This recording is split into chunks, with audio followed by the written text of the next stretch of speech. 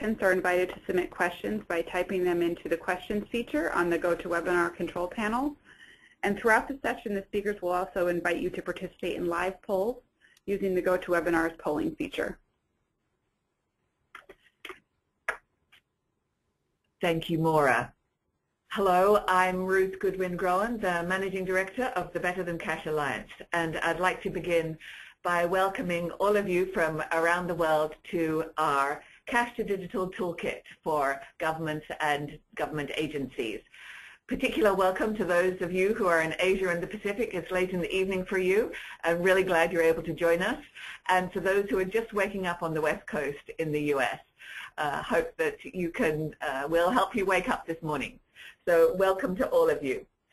I'd also like to welcome our toolkit author, Beatrice Marulanda.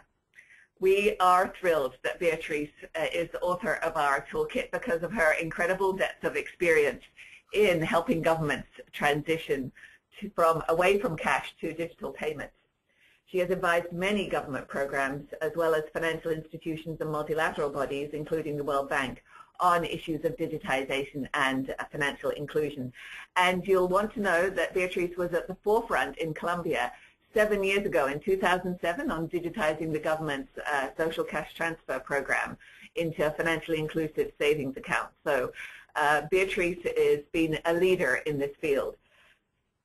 Today she comes to us as a senior associate at Bankable Frontier Associates, uh, leading the work on uh, digitizing and of course has also been working on e-money legislation from a government perspective, so brings a great depth of experience. Beatrice, welcome. Well, thank you, Ruth, for that introduction. I really would like to clarify that this toolkit is a result of a great team effort, and I really wish to thank my colleagues at BFA, members of the BTCA Knowledge Management Working Group, and the government officials who have tested it so far because they have been crucial in the development of this toolkit. Yes, indeed. Many of our members, uh, government officials, have been involved, and a huge thank you to all of you who are on the line and who've been participating in that. Thank you so much. For those of you who don't know us, the Better Than Cash Alliance is a global alliance of governments, private sector, and the development community who are all committed to moving away from cash to electronic or digital payments. We do three things we advocate for the shift away from cash to digital payments with governments and the private sector and development partners. We develop cutting-edge knowledge and research products, case studies, and, of course, toolkits, as well as providing technical support as appropriate. And it's, a, it's under our knowledge agenda that these toolkits come. And they were developed in response to demand from our members and others saying, where do we start? What are the right questions to ask? What do we need to consider? And so these toolkits have been developed in response to those questions. And they're going to be uh, a public good for our members and others to join. This one is for our friends in government and government agencies. Yesterday we were talking to development, the development community Tomorrow we'll be looking at one for the business community and then on Thursday and Friday, diagnostics for the whole ecosystem and measurement for the whole ecosystem. So today, now we can look at the agenda. We're going to, first of all, give you an overview of the government toolkit, and then I just want to highlight that this is not going to be a usual PowerPoint presentation with bullets like this all the way through. We're this uh, toolkit is over 100 pages. There's a lot of uh, a lot of text, but it's going to be web enabled. And so you're going to be able to look at it on our website. So we're going to be giving you screenshots of what it's going to look like. It's not going to be the usual uh, PowerPoint presentation. And so just be ready for that when you see it. Also, you'll get a sense of what the overall approach is so that then when you get to the toolkit, you'll be able to go, in, go deeper on your own. Second and third, we're going to look at how to determine whether or not, whether you're ready or not to shift from cash to some form of digital, and then how to prioritize the payment streams for digitizing. And today we're going to look at tax collection because for many governments, tax collection is a key part of digitizing uh, the cash in the system. And so we thought that would be a really interesting uh, topic for the webinar today. Then we're going to go to a question and answer session. So as uh, Maura said at the beginning, you can see the question section on the right side of your screen not the chat section, the question section, that will come straight to us and we'll be able to uh, answer those in the last 15 minutes or so of the session. And then at the end of the webinar, we'll send you a link to the Yammer site, uh, which is a community of practice site where you'll be able to download a beta version of the toolkit and give us feedback on how to improve it over the next month. And then it will be uploaded on our new website in April and so that you'll be able to actually work with it uh, online in, in April. So that you know, we are recording this and posting it on the website as well. So if you get called away for some urgent meeting, you can always come back and uh, find the rest of the webinar on our website uh, to catch up on what you missed. So that's what, where we're going this morning.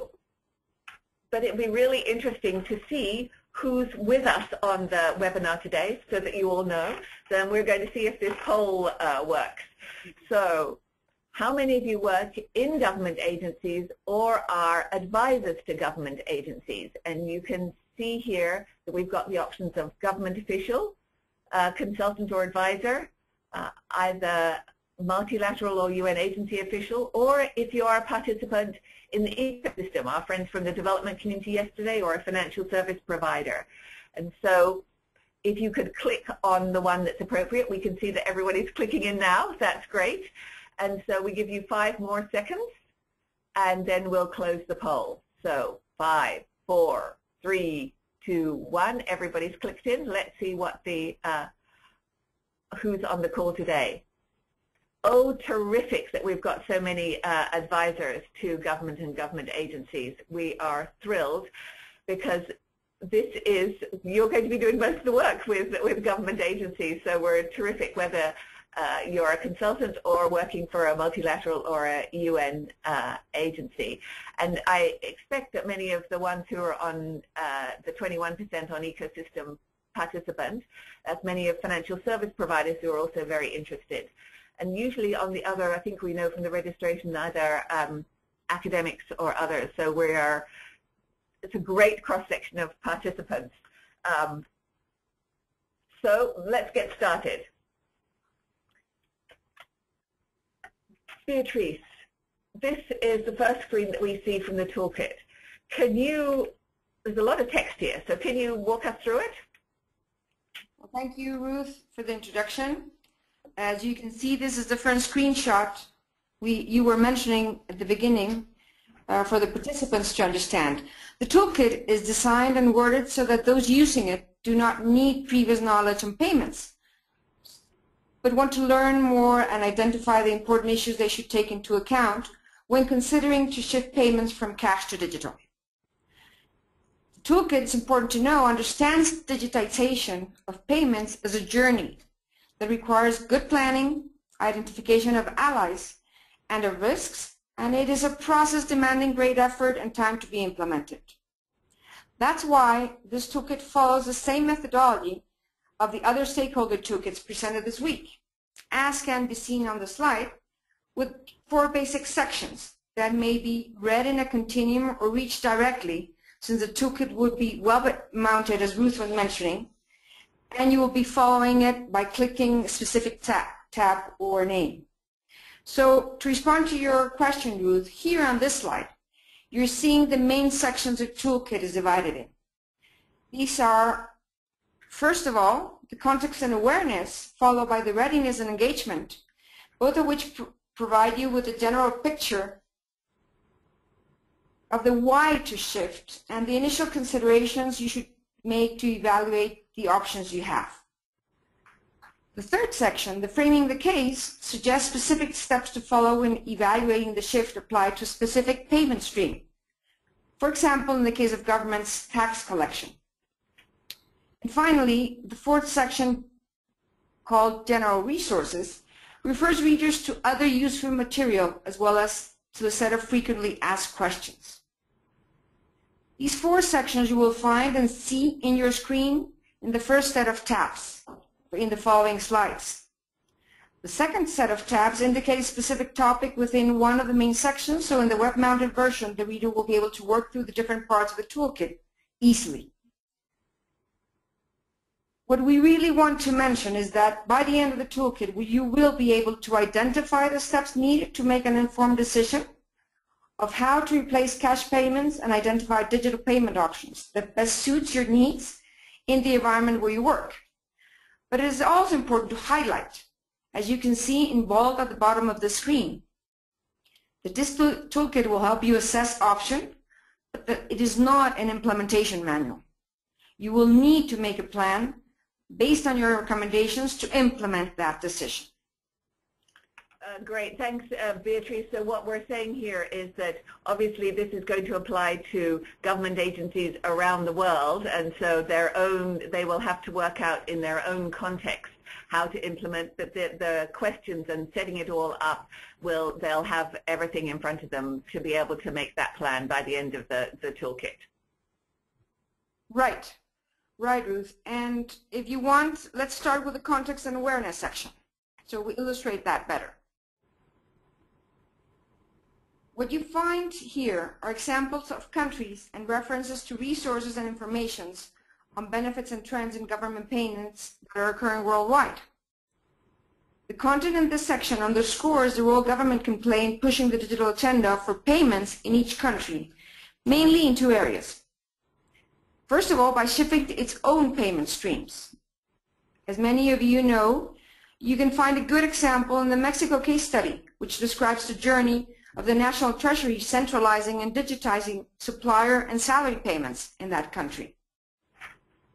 Equally important can be the role played when issuing legislation fostering these types of payments. Here, another example can be found in Colombia's case study, which describes the way the private ACH created an e-payment platform to facilitate Social Security contributions once government ordered that these should be filed and paid digitally. Uh, great. So those two case studies you just mentioned, Beatrice, are on our website for people who are interested. But let's go to uh, the, uh, the, actually click through to the context and awareness section. And this is showing us the examples of trends on why, of the benefits of governments uh, transitioning away from cash. So tell us about that, Beatrice. Well, there are various trends that we identified. Uh, many of them related to the government in general, many of them related to more local uh, institutions. But as we know, um, government actions have a much wider range of benefits than those perceived by private entities. So the section of major trends precisely refers to the different studies that identify various types of benefits. On this slide, we include references to one of them that is increasingly being mentioned, which is the close connection between formalization in the economies with the increased usage of digital payments. But we also include examples of cost efficiencies in activities undertaken by government agencies, as well as increased transparency and reduction of leakages as a result of increasing traceability of all payments. Obviously, the impact on economic development and growth that has been documented in different studies is also mentioned. And last but not least, the increased deepening of financial inclusion processes when using government payments to incorporate new clients to the financial system is also included. Great. So you can see there that this includes uh, reference by some of our members in Philippines and Peru, and then there's a lot more uh, resources here showing why governments are uh, digitizing. So let's get started uh, on the on the readiness, how, how governments know that they're going to be ready, or government agencies know that they're going to be ready to uh, replace their cash. So what do we have here? Here we have um, the example of what the second section of the toolkit, the readiness and engagement, um, suggests. And it includes the stages that should be followed to help them uh, decide how to prioritize payment streams and where and how to focus your efforts. This journey, first of all, suggests to identify the drivers behind your interest. Second of all, it suggests to focus in the scope of the effort in terms of the types and the volume of payments to be shifted. Thirdly, it suggests that one needs to take into account the market environment as well as the internal readiness of a specific agency, which we have, have called the context stage. And the fourth stage, which will help you prioritize and decide if it is worthwhile to continue further in this analysis. I would like now, uh, Ruth, to give an example of an exercise that we use to help government understand better the implication of the different landscape that one can encounter in the national payment system of emerging economies. Great, we love examples. Okay. Um, this slide shows a summary table we used after we have introduced a few concepts describing the basic characteristics on payment system to help the reader identify what are the typical payment streams that can be most readily shifted according to the specific development of the payment system in, each context. In this slide, for example, we highlight the, the, how salary payments may be easier to shift in a country where the development of the national payment system is in an early stage, as indicated by the first column on, on the graph, while taxes need a more robust and sophisticated infrastructure to be able to collect them electronically typical of what we call a mature payment system in the last column. This is just one of the examples of elements that we suggest in the toolkit you can use to help assess the readiness to shift, either at the government level or for a specific agency. So, uh, Beatrice, uh, you mentioned the Mexico case study before, and in that one, the, the, our, our friends in Mexico spent a lot of time organizing their own payment infrastructure in the establishment of a IFMIS, an integrated financial management system, and the Treasury single account. And for those of our friends who work in public financial management and others, that's a really key part of it. Could you tell us a bit more how that relates to what you're doing? Well, Ruth, let me um, show you the next slide. And um, this, as you, as you emphasize, is a critical element in this process at a government level. So the toolkit uh, ref refers to this element, suggesting how this can be a process of understanding your internal readiness. Nevertheless, um, and because of it, we were able to take advantage of the rich information and research regarding government payments provided and published by different agencies on these topics. So what we did was instead of replicating or, or duplicating it, what we did was build upon it, dedicating efforts instead to complement other aspects directly related to electronic payments. And what we did can be seen on this slide with the topic of the integrated financial management system, as well as the single treasury account, are presented in a very schematic way, directing readers to specific resources and documents published, for example, by World Bank, IMF, USAID, and IADB, so that those interested can conduct further research with those specialized resources. Yes, I noticed here that the source is adapted from our friend Carlos Pimenta at the Inter-American Development Bank, and you've got links through to our friends at the payments team at the World Bank, and of course our friends at the IMF Public Financial Management team, uh, their resources. Uh, so there's a lot of great, really, really robust, substantive work that we're that we that we just point people to uh, because this is for people who are starting out and for those who are specialists there's a there's an incredible depth of experience there. So thank you to all of our um, colleagues who uh, have done such tremendous work uh, on this uh, issue of uh, IFMIS and uh, TSAs. So we have those resources. So let's get to the real core of the uh, toolkit, uh, Beatrice, this uh, framing the case. Okay, the third section of the toolkit, Ruth, reflects the methodology we suggest in the toolkit to help you and the, and the readers and the participants today determine the possibility to shift a specific payment stream. This um, section is structured so you can tackle one payment stream at a time, each of which will involve different stakeholders, alternative payment options, all of which need to be considered in an organized uh, manner. The use of a specific payment stream also allows us to address the concerns of a diverse set of agencies that make up government in general, from national treasuries to the social department and even to municipalities wishing to shift its own payments. The payment streams included in this toolkit first are the cash transfer module, which was presented yesterday and which we think have, have a lot of similarities, but in the government toolkit we referred specifically to governments wishing to, to shift uh, its cash transfer payments. The second module is the one we're going to see in more detail in a few minutes. And these refer to the tax collection.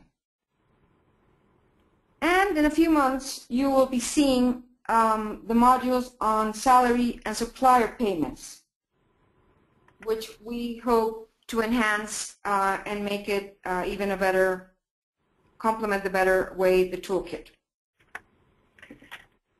Great. So the for those of you who were participating yesterday, we went through the cash transfer uh, steps, and so the we're going to go through the tax collection one today, which is really cool for those of you who are uh, involved in this. There's, there's uh, tremendous uh, opportunities here.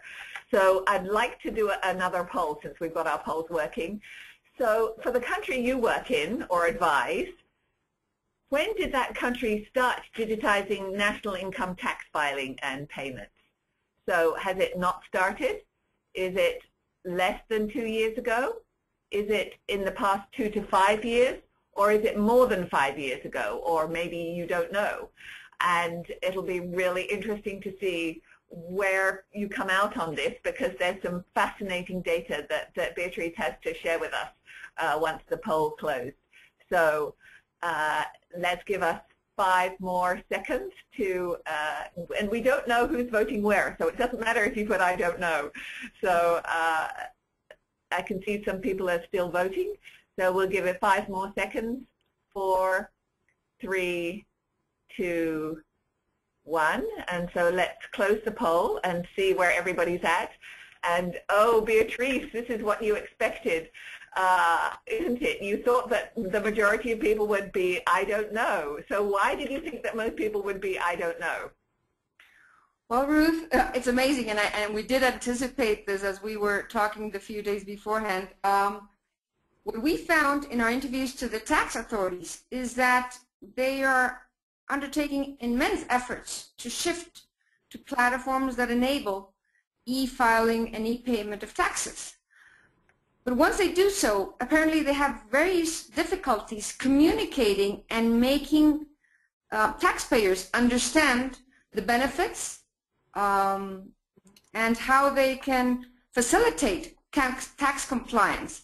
So what you find and what tax authorities report is that many of the taxpayers still don't know that they have already implemented these types of platforms and these types of alternatives but the taxpayers still maintain their traditional payment styles, like paying by check and going to a bank branch. So this is clearly a good reflection of what uh, tax authorities are perceiving. So, uh, Beatrice, this is also connected to what you were saying before in terms of one of the motivations for governments digitizing is the connection to, uh, to formalization. So given that where everyone's at, let's go back to the framing the case. Okay, and I would like to start there, um, just giving you some of the information you were mentioning, Ruth, about um, the data we collected. And here, and related precisely to the poll question we just had, interestingly, we were able to establish that according to the World Bank paying the taxes surveys, 76 economies of the 189 surveyed in 2012 had already fully implemented digital filing and payment of taxes in the previous eight years. And when you go into the toolkit, you'll find that is not a characteristic really only of developed countries. It is increasingly a phenomenon taking um, place in developing countries. So um, these specific major worldwide trends are just some of the examples which are the essence of the introduction to this module on tax collection. And again, following the same methodology, applied for all the stakeholder toolkits, after a brief introduction, what the toolkit does is identifies the main steps a government agency should take to frame a wise decision around the way, the when and the why to shift a specific payment stream. So um, the toolkit takes the reader through four steps, which we think should follow in order they should follow any any person wishing any government official wishing to undertake this journey should follow in order to recommend any sort of action. These steps can be seen right on the, on the screen showing, and they are, first of all, understand and determine the drivers really behind your interest. Second of all, identify the stakeholders you need to take into account to make this a, a successful shift. Third of all, investigate the options the market you're in offers, but also understand uh, the options and also the limitations you will find. Fourthly, calculate the costs and compare the different options because typically you will not be only confronted with one alternative. You will have many and you need to understand what the options uh, imply in terms of costs. And finally, assess risks. All of these should make it possible at the end of this section for you to identify the main components of what should be your recommendation. Great. Well, let's start with drivers then. And I, we have a poll question about that too. So for those of you who are on the, the webinar, in your own context, what do you think are the major drivers towards digitizing taxes? Do you think it's to reduce the cost for the tax collection agency? Do you think it's uh, to minimize the time and cost for the taxpayer? Do you think it's to minimize tax leakage or do you think it's to promote financial inclusion uh, in your own uh, context?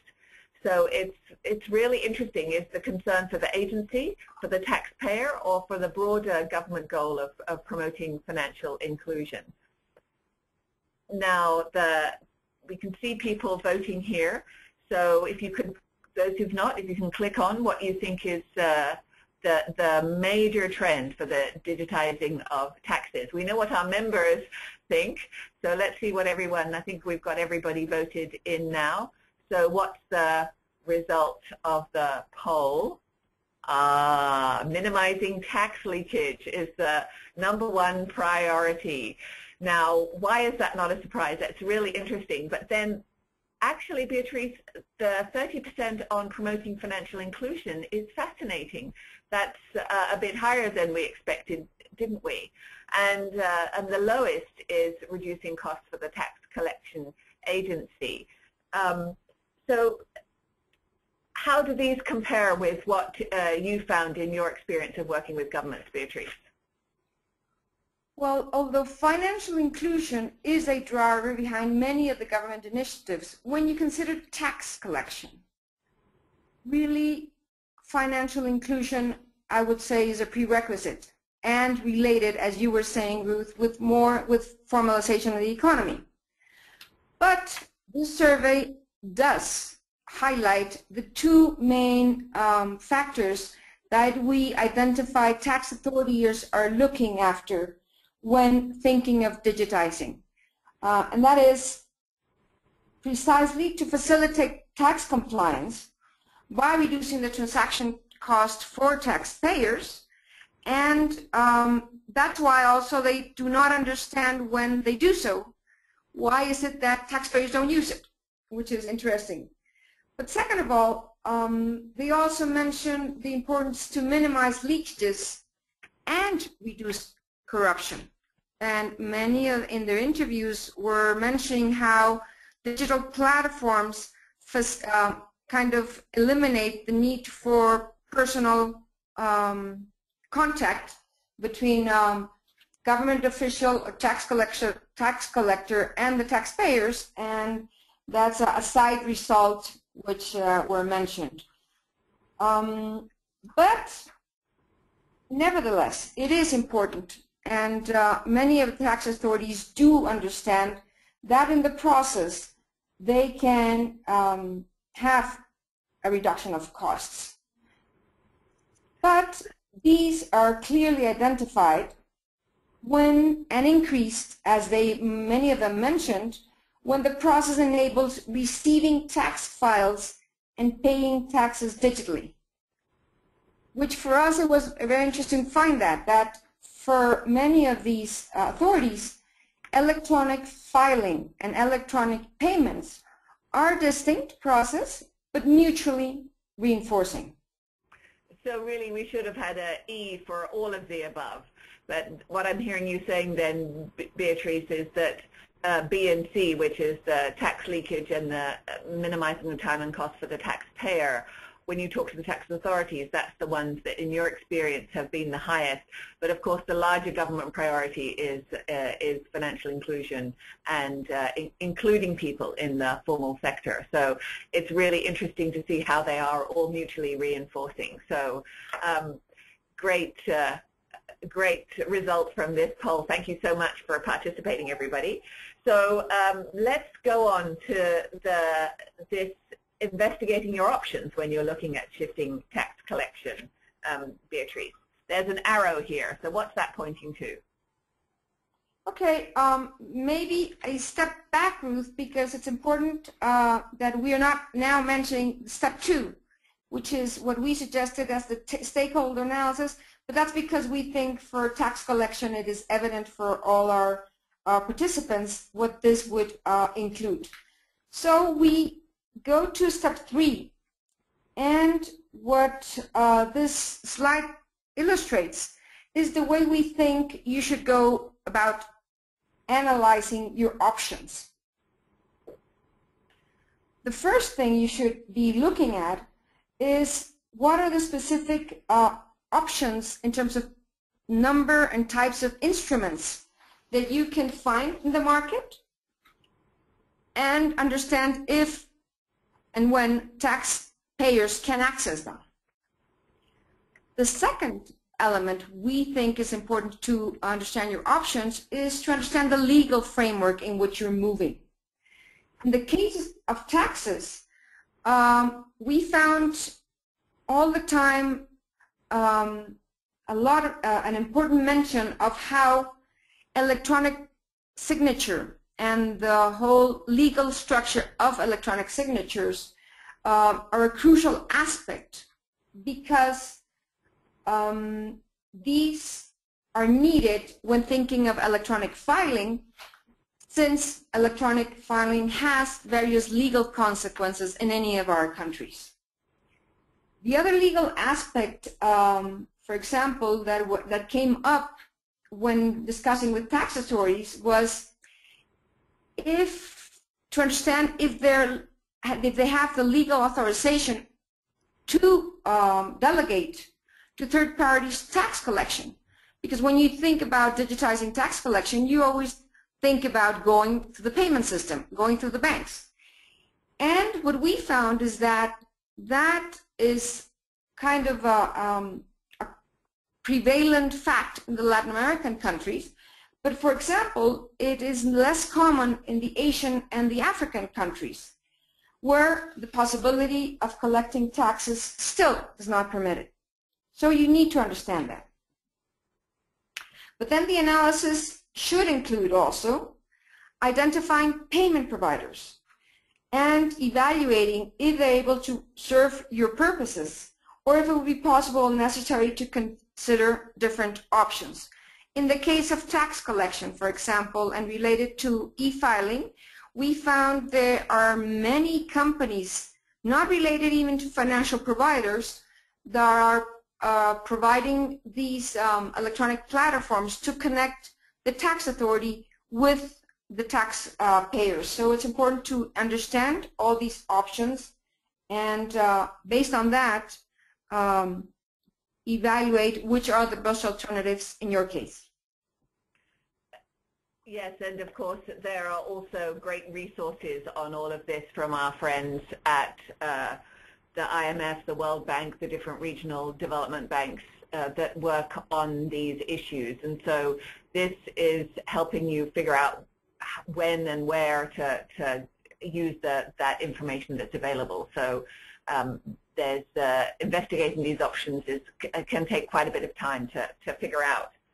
So Beatrice, then the next step? What, what, once you've investigated all your options, what comes next?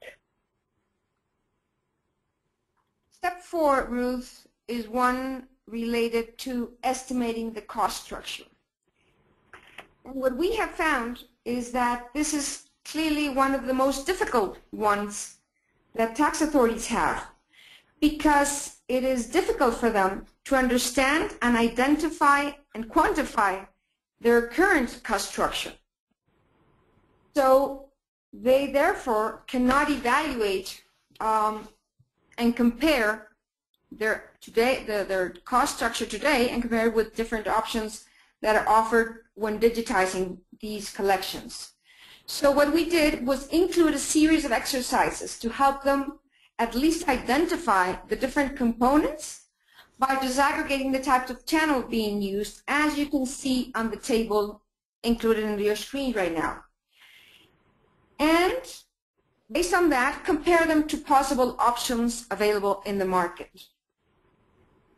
So Beatrice, just let me pause there one minute. So what you're saying is that there are like blank uh, cells in this screen here and uh, when you can either click on you'd like to see an example of doing this or you have uh, a costing uh, option for people to look at to be able to assess those costs, right? So, as, as this table and many of the tables that are included in the toolkit, these are downloadable uh, work files where you can um, include the, um, the information that we're suggesting you should compile and organize in these sheets to facilitate your exercise. And I'll, I'll, I'll I'll tell you in a minute how we make these uh, all these tables we put in come together into a, a understandable exercise.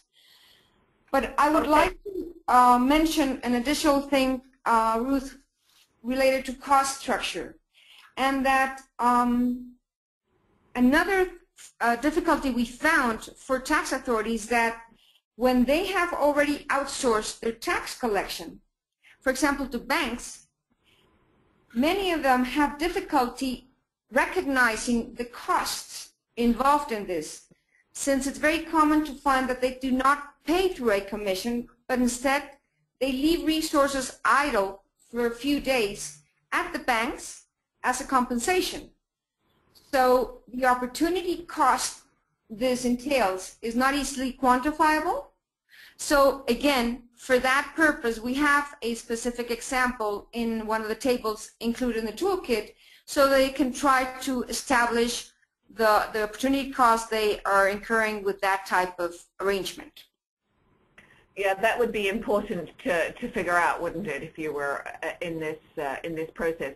And you said, Beatrice, that there was uh, you wanted to be able to put all these different pieces together in an example to to show us. Would could we go to that now? Would that be useful?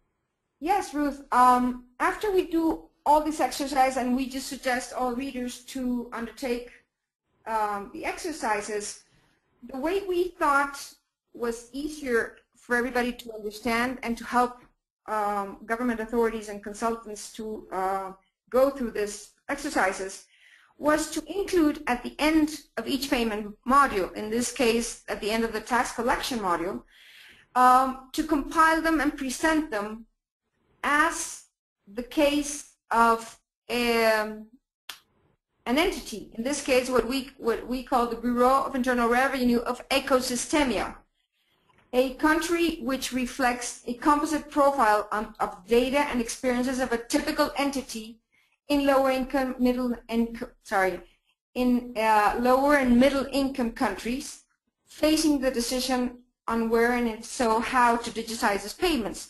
So in this section of the toolkit, we put all those exercises together and we actually include examples with numbers and with um, uh, data reflecting our experience on the typical findings they are going to find uh, they're going to use in these types of exercises.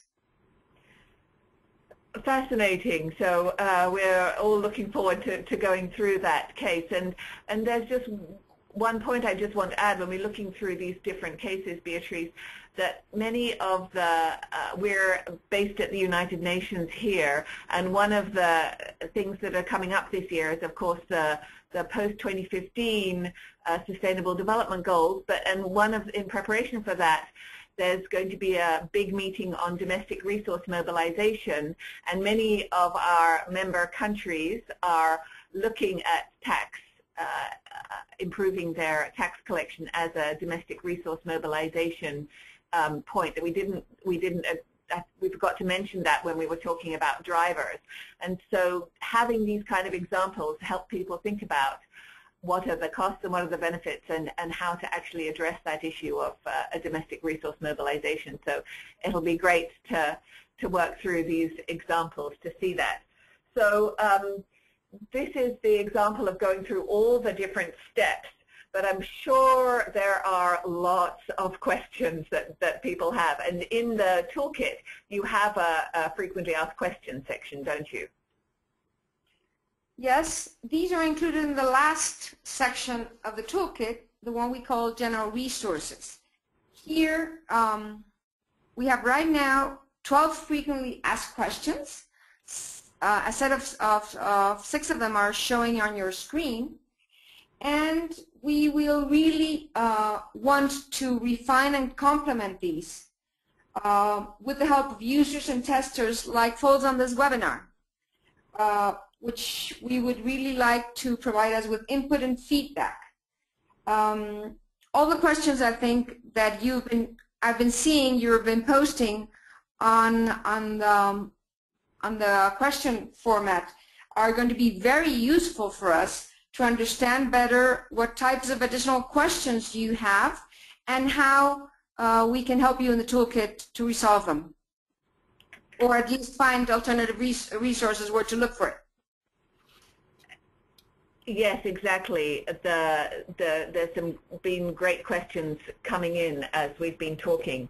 So and I just want to underline that point that you had made, Beatrice, is that this is a beta version of the toolkit, and so when it's downloaded, if there are questions that people have that don't um, come up either in the FAQs or in the process of going through the other modules, such as on the cash transfers, then we can uh, we can improve the toolkit so that when it's web-enabled, we have those uh, uh, aspects all covered.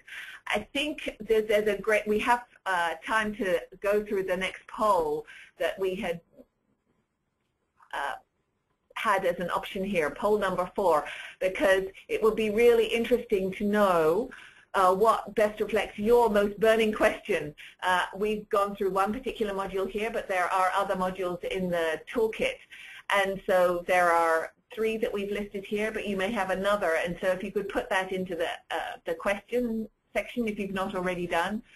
So some of the questions that Beatrice has got is, of course, of looking at the costs and benefits. Is that your question? Understanding costs and benefits of shifting particular payment streams. Second, how do I know if there's uh, appropriate payment infrastructure or how do I assess the payment infrastructure? A third question is, given low levels of financial inclusion, which is uh, the case in many of the countries and member countries of the Alliance with whom we work, uh, which are the payment streams uh, to be shifted first.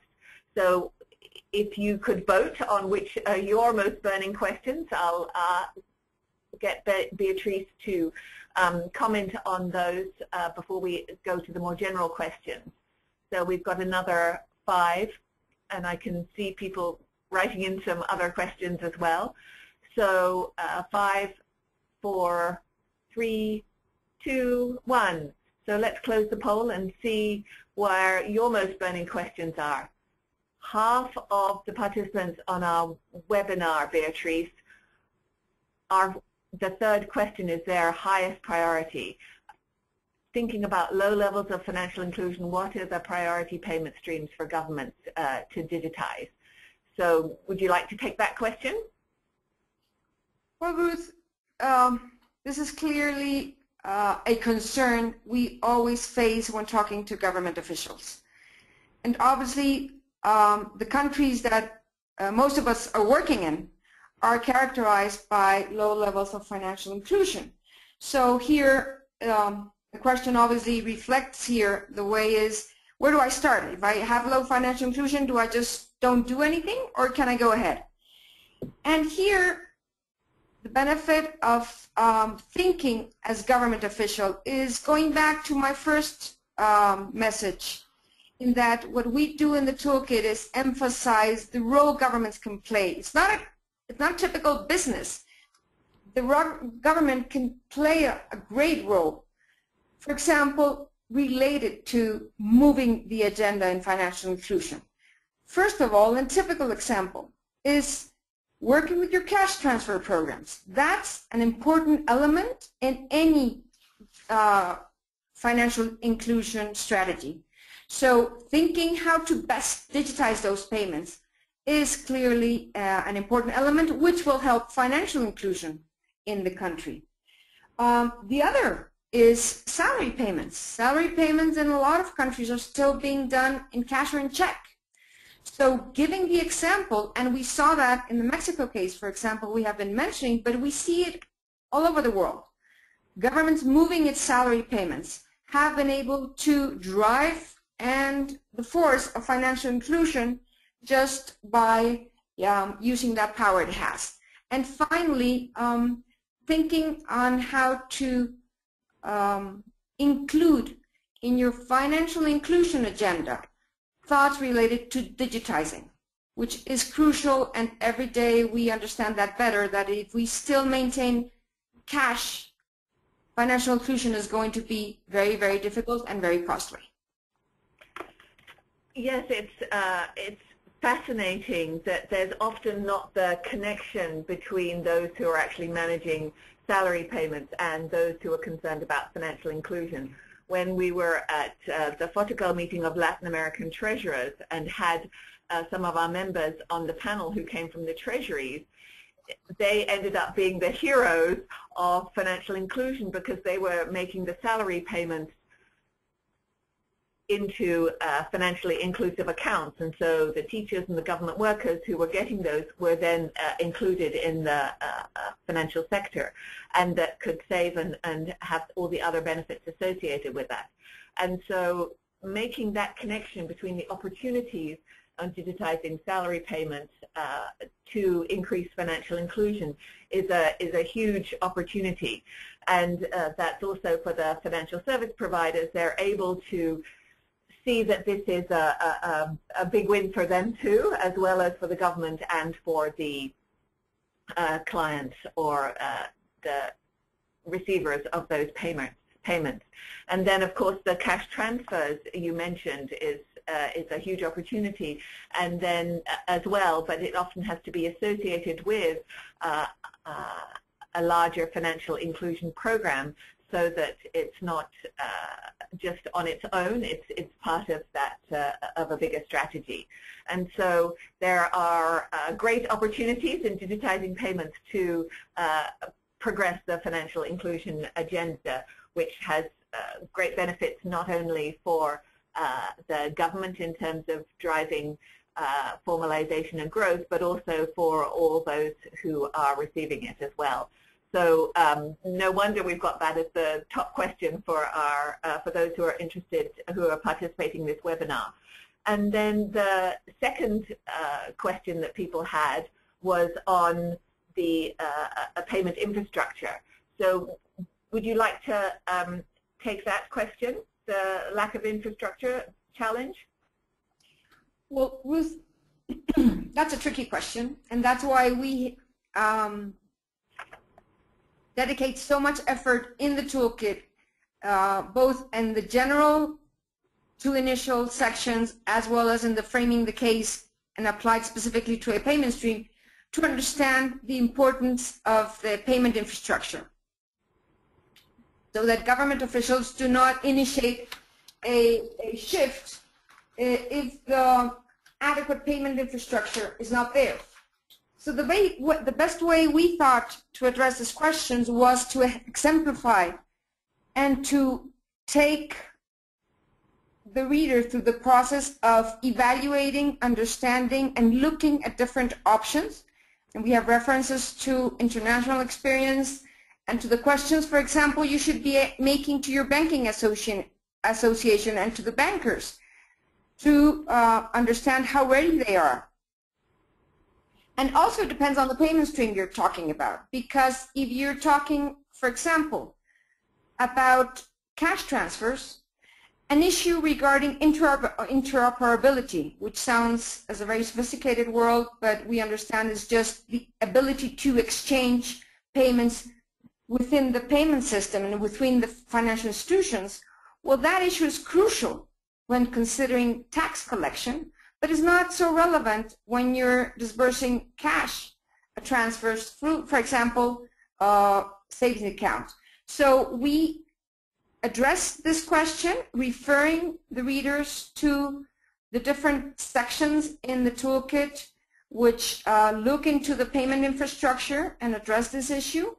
And also we refer readers to different sources where they can go uh, and, and acquire better knowledge of different payment systems uh, opportunities within the toolkit. Great. I see that there are quite a few questions coming in about examples uh, and uh, of, of, different types of approaches, and uh, there will be sources for different uh, examples, right, Beatrice? Right, right. There are many uh, sources referred to with, throughout the toolkit, and that's what we wanted to be a reference point uh, for people to look upon and then be able to go further, do further research in, in those sources that are specialized in certain topics. Great. And then uh, some of the other questions have been about uh, resources to help with this process. Um, and uh, the the Yammer site that we're going to be giving the the emailing everybody. It's it's a social networking site, but it's, it's only for those who are working on this toolkit. And so there will be an opportunity to ask you and our friends uh, uh, in the government members as well as uh, our uh, knowledge uh, consultants and teams here at the Better Than Cash Alliance to be able to engage and ask questions as we develop the toolkit and say, well, this isn't clear enough. How do we do more of that? So that so there will be opportunities in the next month to, to improve things if uh, all the questions have not been answered. So just uh, we're coming, we're, there's a quick final question here that comes from our uh, colleagues at UNCDF who also work on local development as well as uh, financial inclusion is what about, the, what is the difference between shifting government payments at a national versus a local level? Can you just take that quickly? Well, Ruth, thanks a lot for that question because it is different. And what we found is that, um, let me answer that question like in, in two big parts. Um, first is a concern because what we saw is that at local level, the benefits of digitization might not are not so clear and not um, uh, so readily identified. So um, that's why we put so much emphasis in um, including these sections on, on the benefits of digitization. But if you think uh, uh, if you think about it at local level, it can be easier to digitize because um, first of all, the coordination effort, which at the national level is gigantic, at the local level can be simpler. Obviously, because of the same issue, the, stake, uh, the number of stakeholders you need to coordinate is quite smaller. And also, interestingly, what we found is that alternative models in terms of, for example, of payment instruments might be easier to pilot just at a local level because of a, so, of a smaller size involved and but and that's because in some cases you also can do a leapfrog. Uh, and let me give you an example. For example, with taxes. At the local level, you normally collect taxes referred to property or to uh, auto taxes or vehicle taxes. The value of these taxes can be predetermined using third-party sources like property registries or tables on values of vehicles. This facilitates pre-filled forms and the sending of these pre-filled forms to taxpayers, which can be sent beforehand, so you do not need an e-filing um, platform, which is quite complex. But you can just enable payment options. And for, for example, we use the example of the Philippines, where precisely using this option, uh, which is offered when talking about property taxes and vehicle taxes, they're also thinking about and implementing pilots based with or financed with a USAID project using mobile phones to pay for these taxes. So it, it's, it's simpler and we need just to convince local participants and local entities that they gain a lot from this shift. So there are real opportunities at the local level uh, with examples in the toolkit. Uh, fascinating. Beatrice, we're coming to the end of our time here, so uh, there are lots more questions uh, come, coming in, and so I just want to encourage you all to, when you get, it says following the webinar, you'll receive a link to join the Toolkit Community Forum on Yammer, and so please share your stories with us. You know, if you think that there's a great case in uh, the country that you're working in, please uh, add those in or give us an, another resource and uh, we'll recognize your, your input because that's one of the benefits of being an alliance is that we include lots of both uh, governments as well as those who work in companies and the development community. And for those of you who were in the development community uh, discussion yesterday, I think that the Yammer site is going out this morning together with the government one. Uh, so they're going out together so you can join that. And uh, as we said, it will let you download a beta version of the toolkit to be part of the uh, process of it getting better. And then we will be able to do a formal launch uh, in April with our new website. So with that in the last minute, I would like to thank you all for participating, for being such, uh, for your great questions for your participation in the polls and for joining us this morning, morning in uh, East Coast, uh, New York time anyway, wherever you are in the world. And to thank you, Beatrice, for your uh, contribution of all your great experience to this. Every time you talk, I can hear you clicking through all the different examples in your head that you've worked and there's so much more that could be said and so we look forward to engaging with you uh, in the, uh, the Yammer site to asking to really uh, both using the toolkit and getting your experience on this. So thank you very much to you and to everybody this morning. Have a great day or evening wherever you are in the world. Thank you very much.